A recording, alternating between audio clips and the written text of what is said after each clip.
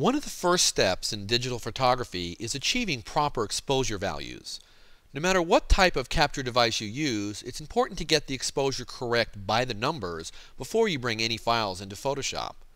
When working with an 8-bit color file, we have 256 levels of grayscale value in each of our red, green, and blue channels, starting with 0 pure black and ending with 255 pure white. It's the white with detail and black with detail numbers that we're most concerned with.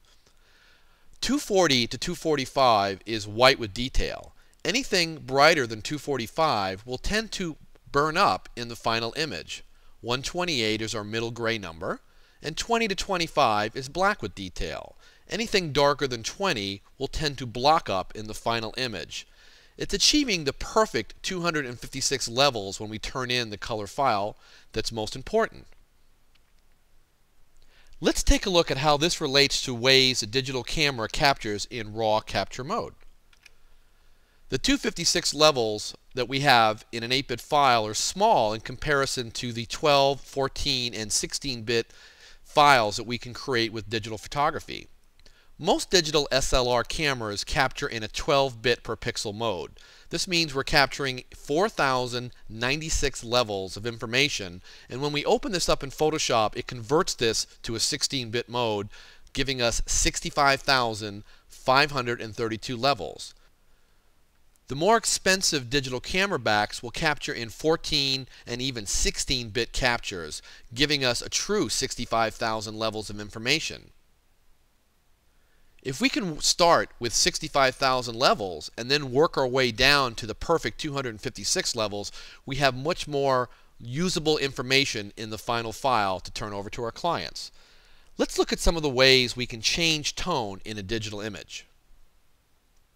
I've opened up a simple grayscale gradient in Photoshop for us to look and see how the tonal corrections change the tonal values in the image.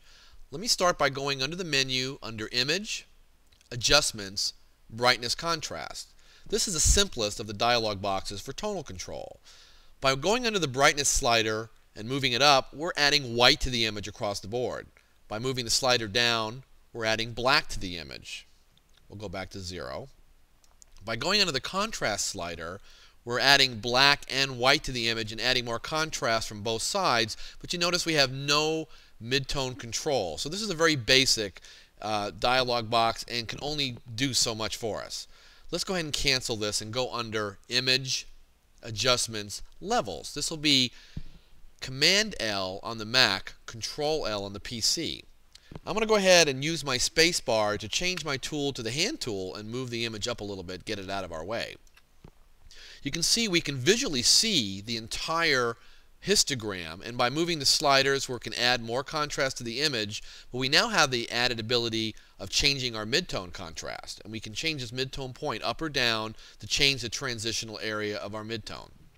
I'm going to go ahead and use the option key to change the cancel to reset. This will be the alt on the PC. This allows us to go back to our starting settings.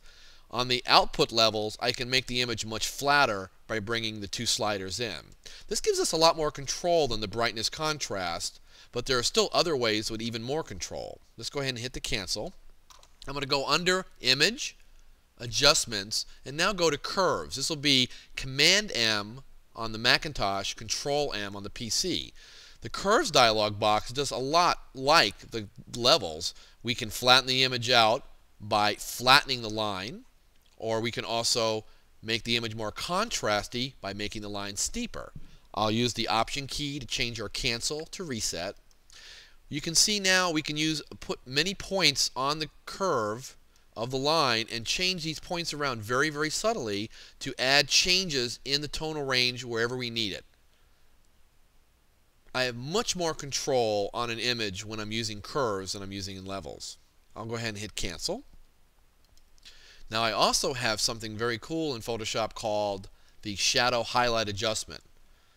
As I open up this dialog box, I'm going to go ahead and make our image smaller by doing Command minus, and I'm going to use the space bar to change it to the hand tool to move our grayscale where we can see it. On the shadow slider, as I move the slider up, I am adding a shadow brightening curve to the image.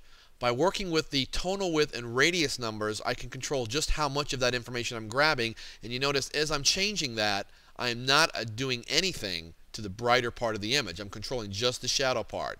On the highlight side, as we move the slider, we are adding a highlight darkening curve to the image. Again, with tonal width and radius controls on the slider, we can really isolate just the area we want to control. On the color correction, if we start to lose color as we add a correction, we can put it back in with more saturation. By moving the midtone contrast slider around, we can actually add or subtract contrast in our midtone areas. This is a quite a nice dialog box for a one-stop fix on an image.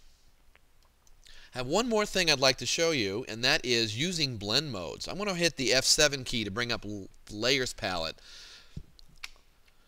By pressing Command plus, I'm bringing the image up larger, and by pressing the space bar, I can move the image around on the screen. I'm going to go ahead and take the background layer and drag it into the new layer icon at the bottom of the Layers palette. You can see by turning the eyeball on and off, nothing really happens while we're in normal mode, but when we change this to multiply, we are doubling the density of the image. I'll go ahead and just change the opacity to 50%, and you can see it's about a one-stop darkening of the f-stop in the image. If I turn that layer on and off, we can see here we're darkening the image down. If I change that blend mode from multiply to screen, it's like opening up the f-stop.